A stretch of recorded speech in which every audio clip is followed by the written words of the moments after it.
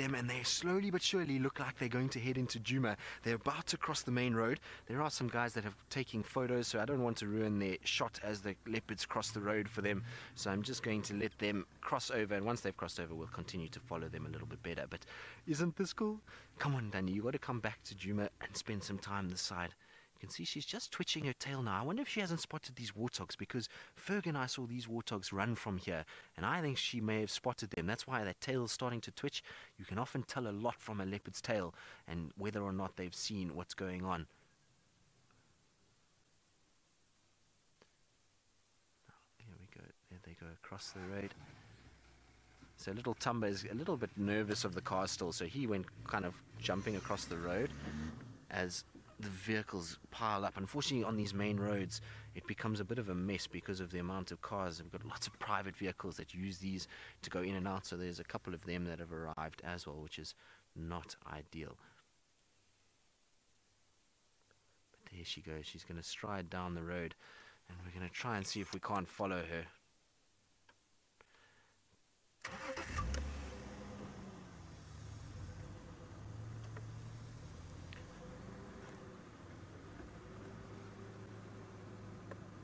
So just checking with Abel if I can go in front. I don't want to ruin his pictures that he's getting with his guests. So always good just to check with your fellow guides if everything is okay, if you can go through. Little Thamba's here on our right hand side. Hello little boy.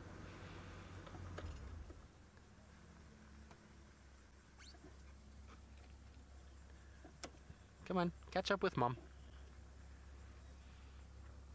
Looks like Thandi might come northwards, which is good.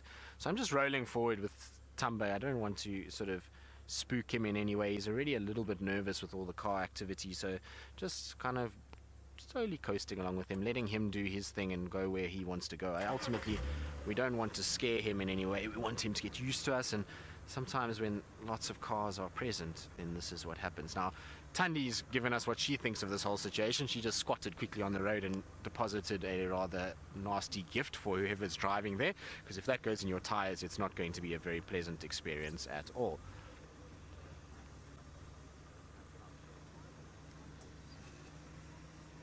How you guys doing? Thank you.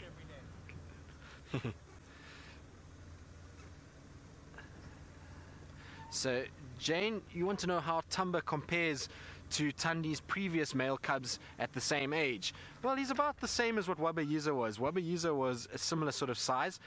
And there's a waterbuck in front. You see there's a waterbuck? Now, I'm sure the waterbuck has seen Thandi, but there's a waterbuck straight ahead that's busy watching Thamba. I don't know if it's actually seen Thandi itself. She's now stopped on the road because she's seen that waterbuck. So let's see how this plays out.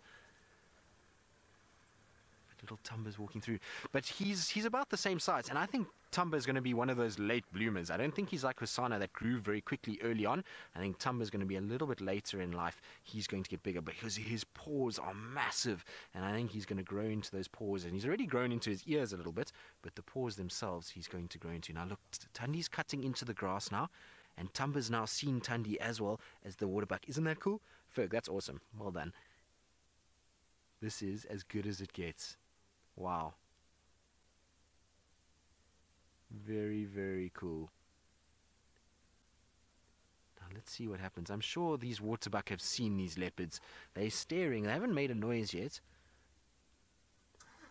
And we know with Thandi, she likes to catch big animals, so this is not exactly beyond the realms of possibility. Most other leopards would just leave a waterbuck to carry on.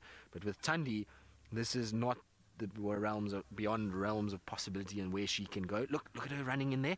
She's interesting to watch when she hunts because she often uses the long grass. And you see what she's done? She's gotten onto the road and she's using the long grass to try and cut through. There we go. Look, there she goes. I wonder if there's not a baby there that she's trying to go after. No, she's going after the.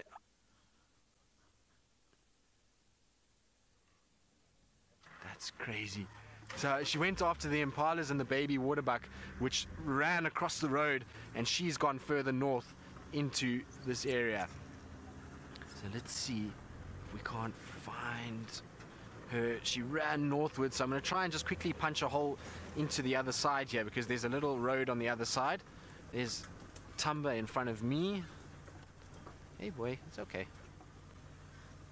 So he's listening for mom. He's trying to hope that mom has caught something.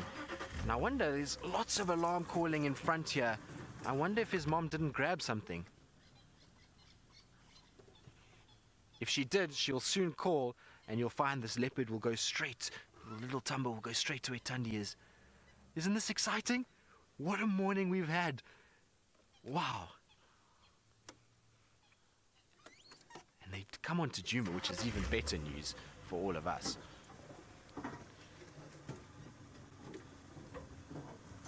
There goes little Thamba. Sorry, boy, I don't want to drive too much behind you. I want to get around you. But I don't know where Thandi is. I think Thandi is somewhere here on my left as well. She came bursting into this direction. And there, oh, there she is. I can see her now. So she's not too far. Now, unfortunately, I'm not going to go any further. I've got a tree here that when I push over, it's going to make a cracking sound. And that's going to cause Thamba to run, which I don't want to do. He's just on the other side of this little bush, and Thandi's there where the vehicles are. So when she starts coming in this direction, or he moves off, I'll go over the tree and we'll try to get a better view. But he's just behind there. It's amazing how well they camouflage. You can see his spots through the tree, but otherwise, incredible camouflage that they exercise. A little bit to the right there. There we go. There you can see it just inside there is little Thamba and his spotted pattern that just helps to break up the outline.